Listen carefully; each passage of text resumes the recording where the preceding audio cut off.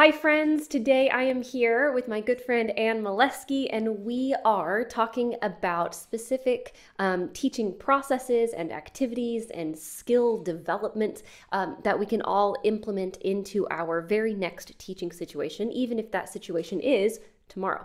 Today, we are talking about um, one of the comparatives that we work on in the younger grades or whenever students are starting their kind of formal experience in a classroom music setting, and that is fast and slow. Now, Anne, you are the kindergarten music queen. You are the early childhood music queen. So, talk to me. What do we need to know about fast and slow?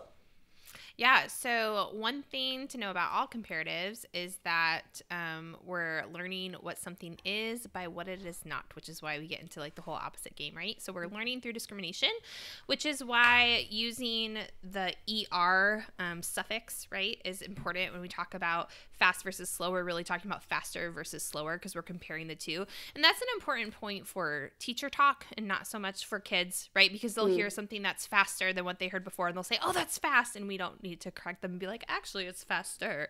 Like, we don't need to get into that. Just for our own purposes, we need to know that we're we're doing it from a, a comparison basis, right? Mm. Um, so so I think that's an important point. Um, faster versus slower obviously has different tempi um, considerations. You know, mm-hmm. if we're thinking about comparatives, we're thinking about foundational aspects in early childhood music. We're thinking about things that are giving us the broad foundation that we're going to need to get more refined over time. So fast versus slower, faster versus slower mm-hmm. really has to do with tempo, but also um, duration as well, I think, right? Because if we have like a ticka ticka versus a ta, yes, we're talking about shorter versus longer, which is a different mm-hmm. podcast episode, but kids also hear that as faster versus slower because it is, right? Because of the duration. So yes. um, I think that is a, an important consideration. So this is just a broad um, foundational thing that is really, really important. So yeah.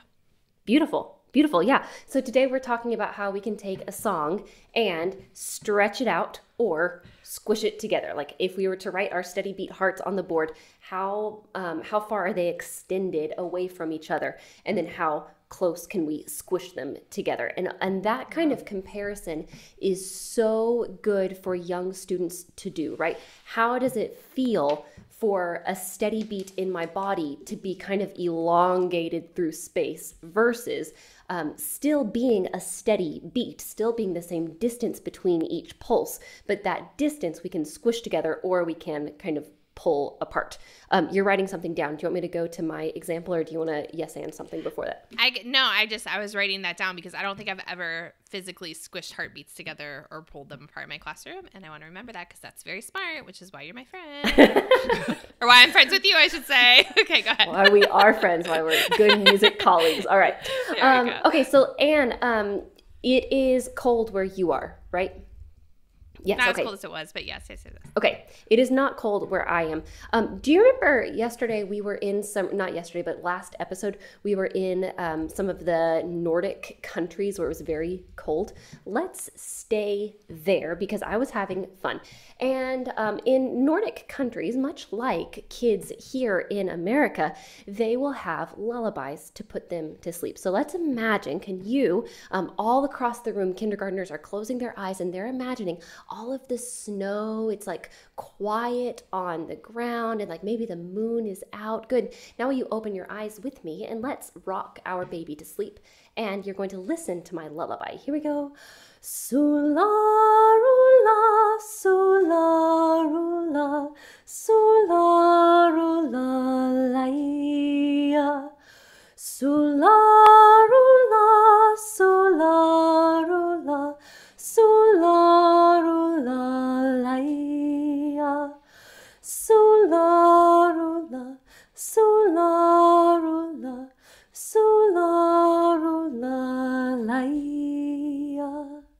Okay, so that's our first experience, like this really beautiful lullaby from Norway.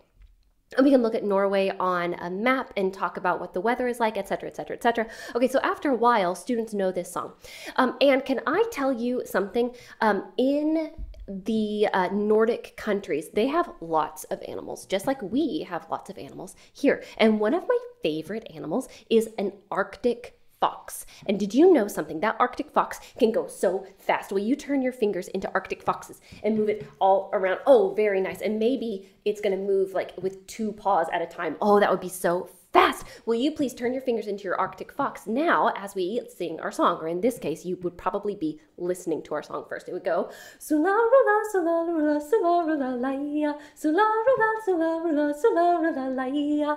Do you want to know what other kind of animal they have up in the Nordic countries? They have walruses. And when they are underground, excuse me, when they are in the water, walruses can actually move pretty fast. But on land, most of the time, they are slow. So you turn your hand into your walrus and let me see your tusks. Oh, yeah. Now will you make your yeah? That's exactly it, and that's what and that's what they'll do. um, now will you, uh, friends who are listening and not watching? Anne took her tusks and just like a perfect kindergarten boy, she just put them underneath her nose like that. Yes, and then of course, like if if everybody's doing that, then we'll take a moment and go like, oh yeah, like all. If can, you aren't watching the video, you need to just for that. yes. Okay, so now will you make your walrus? He's so slow. Okay, here we go. Sula, rula, sula, rula, sula, rula. You get the idea. Okay, so now let's end by rocking our baby back to sleep. Here we go.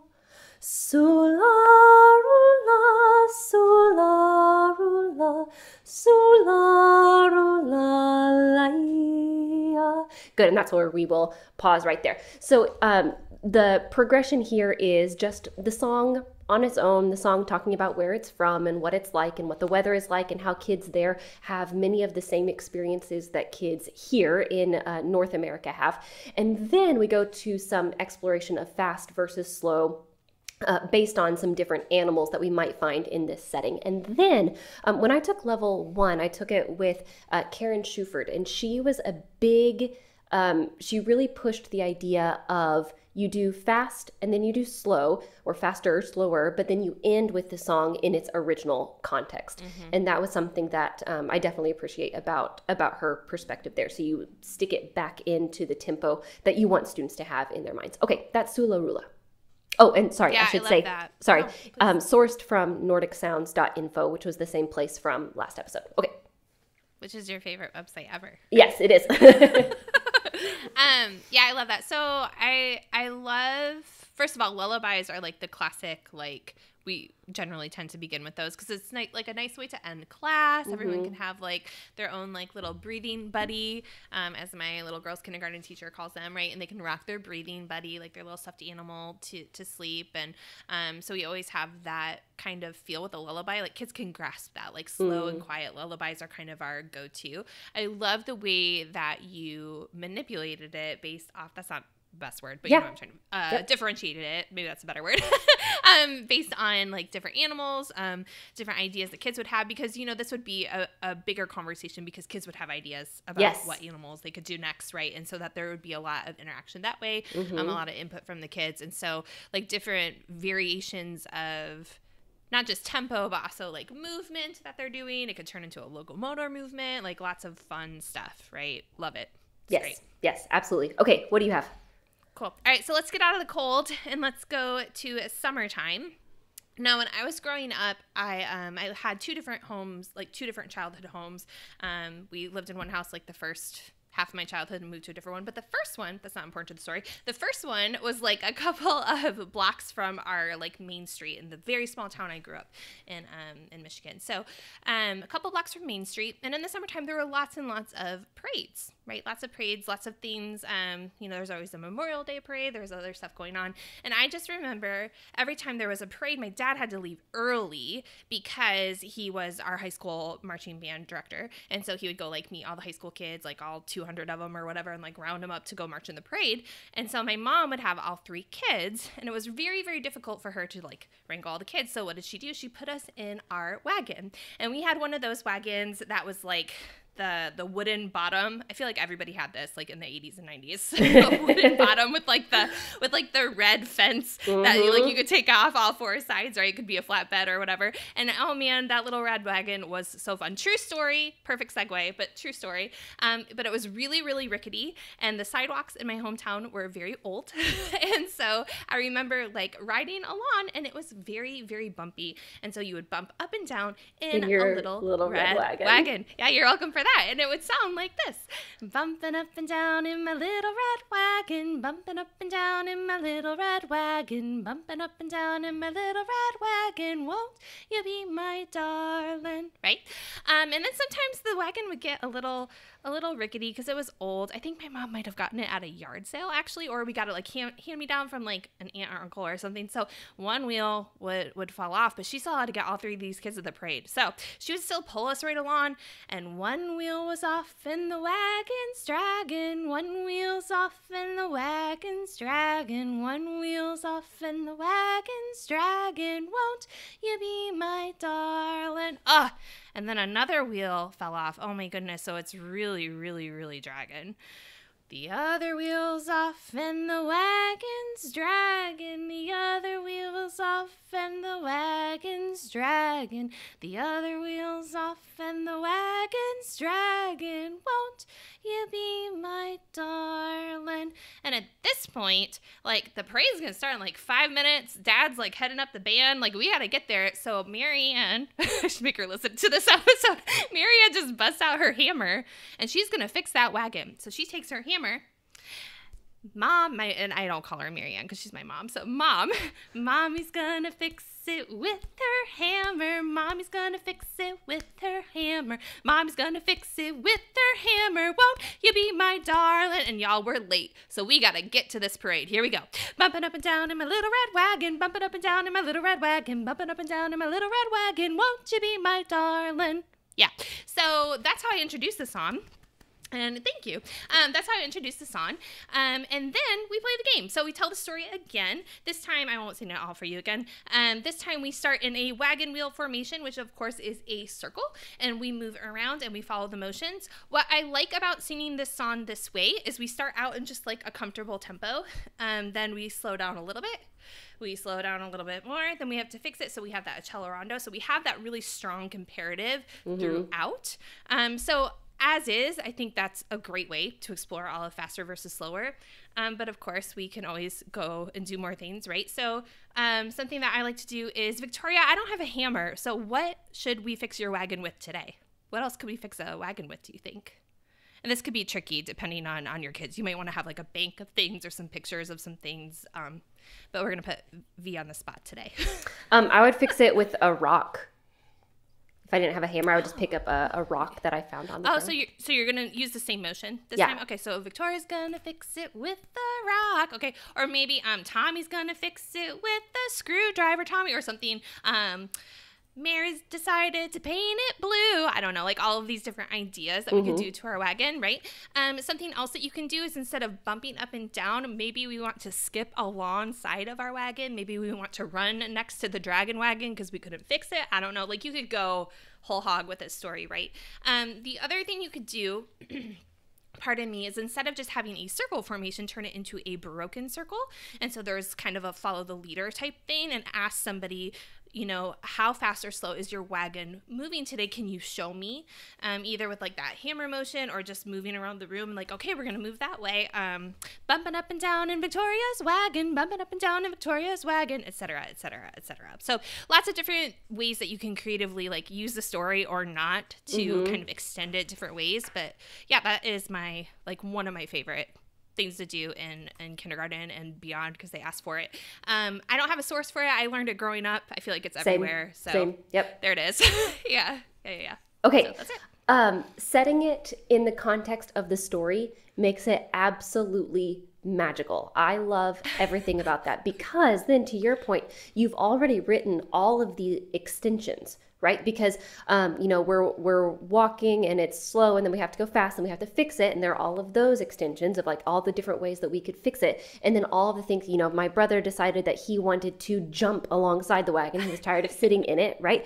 Um, and then uh, you know, who did we meet coming down the street? Like also on their way to the parade, it was, and it was like a dog. It was a, like you know a fast little dog, and or it was like a really big slow old dog, or you know whatever. Um, and then it was like oh it's, it's your it's your grandma it's your abuela that was coming down the road as well so like, she had to walk kind of slow etc etc um, so you've already written all of these extensions into it because you're setting it in the context of the story and students can take part in that now let me ask you something anne because in the vein yeah. of teaching this tomorrow yeah. This is a very simple activity, but it's also a very advanced activity because you are talking about a lot of student input and a lot of student input with different tempi, which means like different mm. speeds that we are either moving in place or moving around the room, right? Like you've you've talked us through a lot of possible extensions. Talk me through some of the parameters, like again, in the vein of teaching this tomorrow.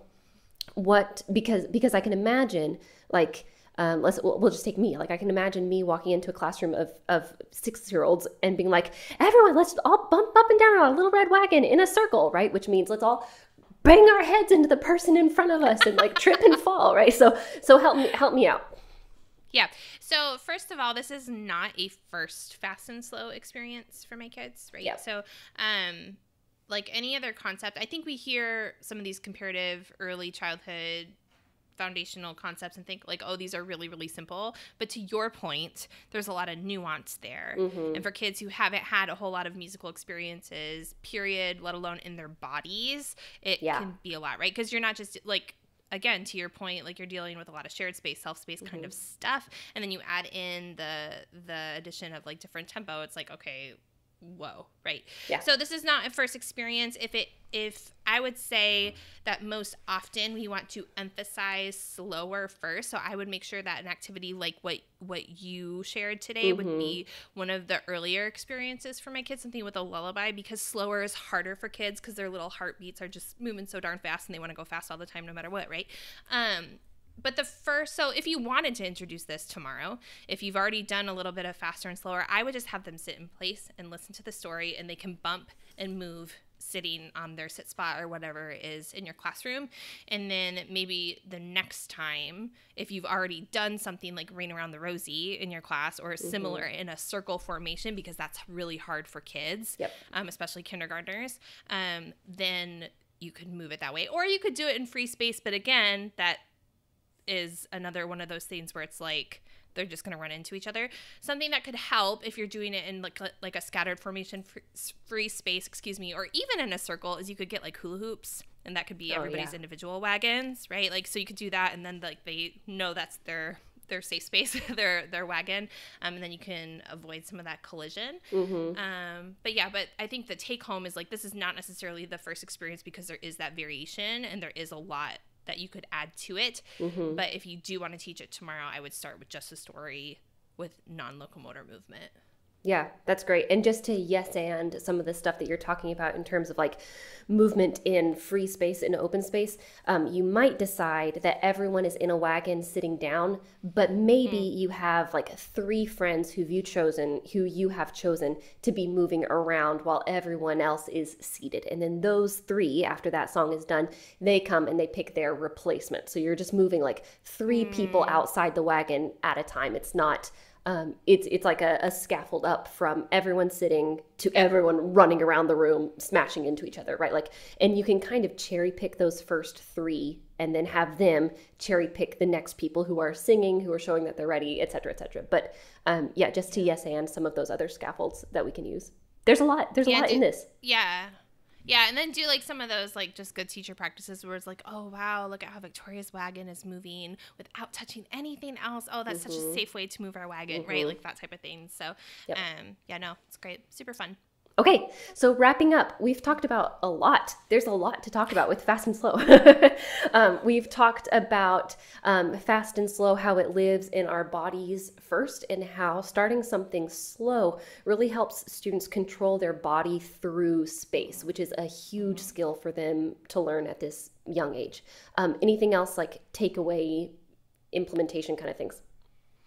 Yeah, I think just um, I think what you said is key. Like a big a big component of this is the movement component, mm. right? So I think the the things that you shared where we can have some of that variation sitting down and it still feels new even though they're not able to move around like mm-hmm. the, the activity i shared will turn into con- controlled chaos right at some point or another like yeah. if you if you go all the way through which is just kind of how it rolls Definitely. but i think again to your point thinking about how you're going to carefully sequence it like mm-hmm. starting start start with this faster versus slower idea like in self space in a non locomotor movement before you kind of open it wide open. Think about those first steps and then the next accessible chunk. So Great. hopefully we've done some of those things. Yeah.